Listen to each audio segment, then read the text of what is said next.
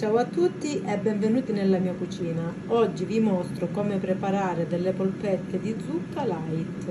Gli ingredienti che ci occorreranno sono 200 g di tritato di vitello, 150 g di purea di zucca, grana padano grattugiato, sale quanto basta, pan grattato. All'interno di una ciotola vado ad inserire la purea di zucca.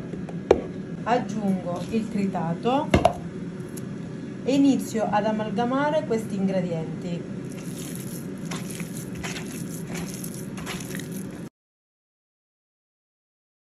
Dopo aver amalgamato la zucca con il tritato aggiungo il grana padano grattugiato.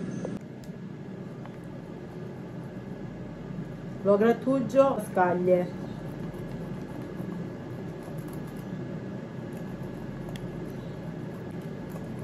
Per la quantità fate ad occhio più ne mettete e più date sapore. Però ricordatevi sempre che è una ricetta light quindi non dovete esagerare. Dopo aver inserito il grana padano mettiamo anche un pizzico di sale e un pochino di pan grattato. Giusto una manciata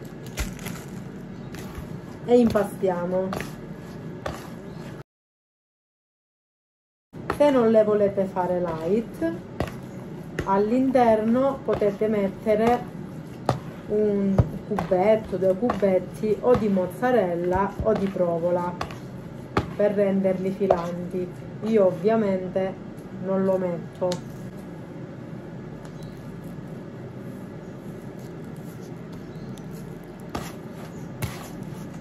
vi faccio vedere la consistenza. La consistenza è questa qua vedete? Adesso formiamo delle belle palline.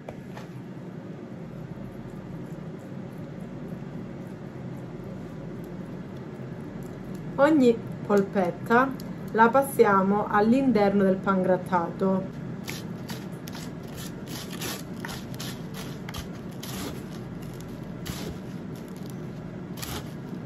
li adagiamo all'interno di un vassoio o all'interno di un piatto.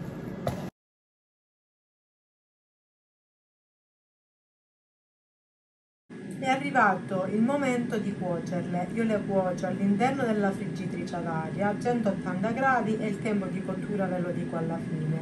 Però potete cuocerle o all'interno del forno, sempre 180 gradi e il tempo di cottura è uguale alla friggitrice ad aria, quindi ve lo dico alla fine oppure potete cuocerle all'interno della padella se, le, se, non le volete fare light con l'olio quindi fritte insomma potete decidere voi come cuocerle Bene, vado ad infornare nella friggitrice ad aria. Trascorsi 25 minuti si stavano un pochino bruciacchiando. Problema perché a me piacciono proprio quando le cose sono un pochino bruciacchiate.